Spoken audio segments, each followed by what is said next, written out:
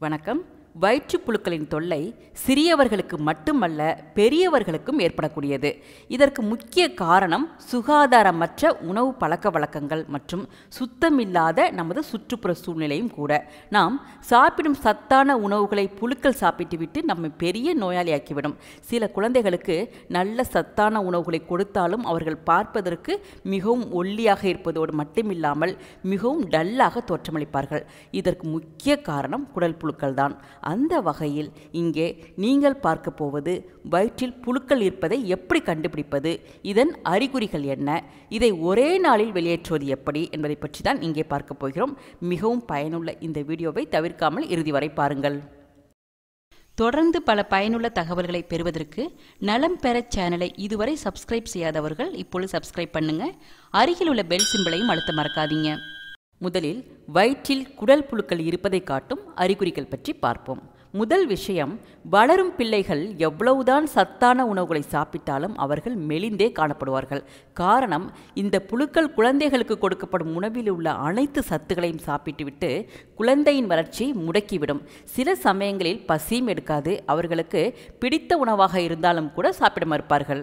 அடுத்து உடலில் உள்ள இந்த புழுக்களால் தேவையற்ற மன அழுத்தம் ஏற்பட்டு என்ன செய்வதென்று தெரியாமல் பற்களை கொறிக்க ஆரம்பிப்பார்கள். பொதுவாக குழந்தைகள் தூங்கும்போது பற்களை கொறித்தால் வயிற்றில் புழுக்கள் இருப்பதாக அர்த்தம். அதே போன்று சில குழந்தைகள் ஆரோக்கியமாக இருப்பது போல் தோன்றினாலும் அவர்களின் முகத்தில் அல்லது உடலில் ஒருவித வெள்ளை திட்டுகள் பரவத் தொடங்கும். முதலில் முகத்தில் ஆரம்பித்து இந்த வெண்திட்டுகள் நாளடைவில் உடல் முழுவதும் பரவத் தொடங்கும். இந்த அறிகுறி இருந்தால் வயிற்றில் இருக்கும் ஒட்டுண்ணிகளின் எண்ணிக்கை அதிகரித்துவிட்டது என்று சொல்லலாம்.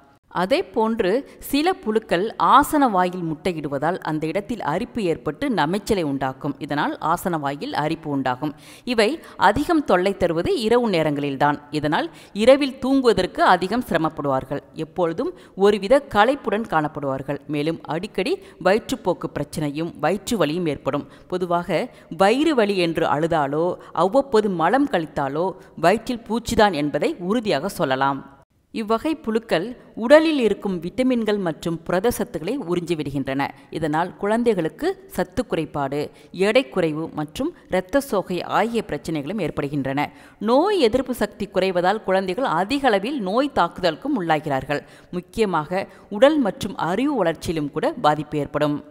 இப்பொழுது இந்த குடல் புழுக்களை போக்கும் எளிமையான சில வீட்டு வைத்தியங்கள் பற்றி பார்ப்போம். இவற்றை செய்து வந்தாலே போதும். குடல் புழுக்களும் அழிந்து மலம் வழியாக வெளியேறிவிடும். வயிறும் சுத்தமாகும். நோய் எதிர்ப்பு சக்தியும் அதிகரிக்கும். முதலில் பூண்டு. இதில் உள்ள சல்ஃபர் புழுக்களை அழித்துவிடும். அதோடு பாக்டீரியா மற்றும் பூஞ்சைகளுக்கு எதிராக செயல்படும் தன்மை கொண்டது இந்த பூண்டு. எனவே இது உடலில் பாக்டீரியா நுண்ணுயிர்களை அழிப்பதில் சிறப்பாக செயல்படுகிறது.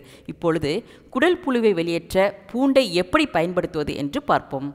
முதலில் அடுப்பில் ஒரு வாணலியை வைத்து அதில் சிறிது விளக்கெண்ணெயை விட வேண்டும்.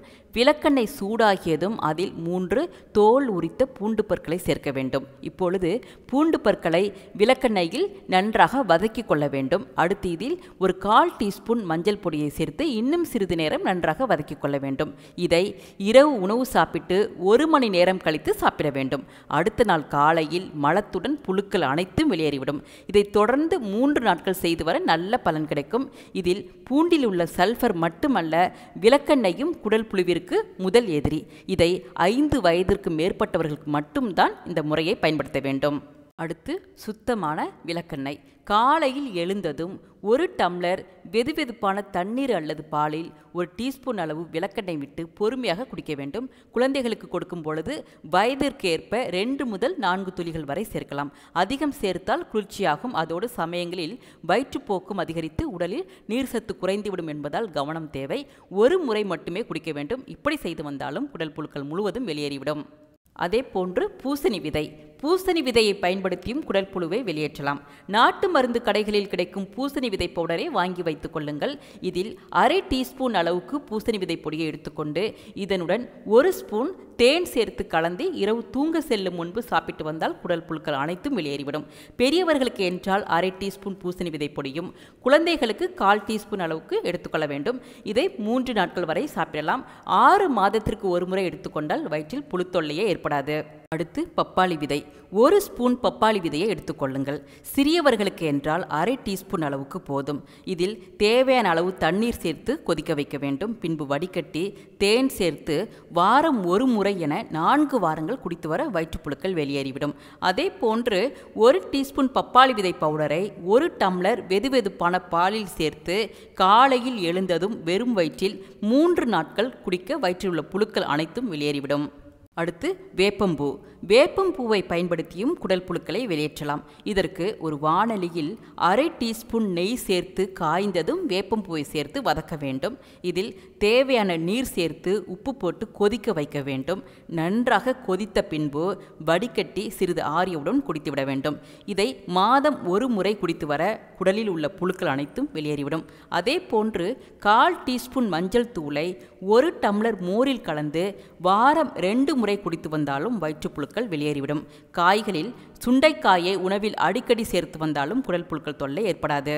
முக்கியமாக குளியலறை மற்றும் கழிப்பறைகளை எப்பொழுதும் சுத்தமாக வைத்திருங்கள். உங்கள் குழந்தைகளை சுத்தமான இடங்களில் விளையாடுவதை ஊக்கப்படுத்துங்கள். நகங்களை வாரம் ஒரு முறை வெட்டிவிட வேண்டும். ஈக்கள் மொய்த்த உணவுகளை சாப்பிடக்கூடாது. காரணம் மலத்தில் உள்ள புழுக்களின் முட்டைகளை குடிநீருக்கோ உணவுக்கோ கொண்டு வருவதில் ஈக்களுக்கு பெரும் பங்கு உண்டு.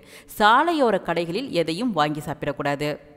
அதே போன்று சுத்தமான நீரை நன்றாக கொதிக்க வைத்து ஆற வைத்த தண்ணீரையே குடிக்க வேண்டும்.